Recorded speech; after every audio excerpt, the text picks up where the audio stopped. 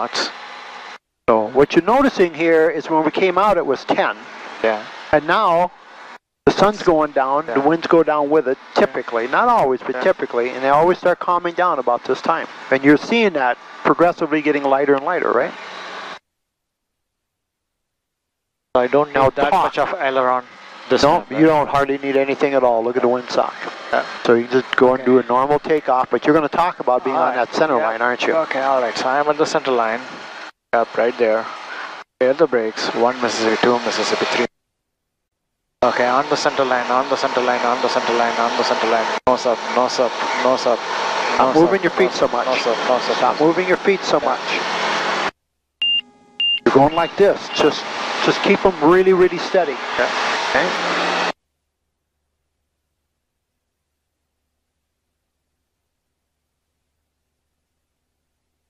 Okay.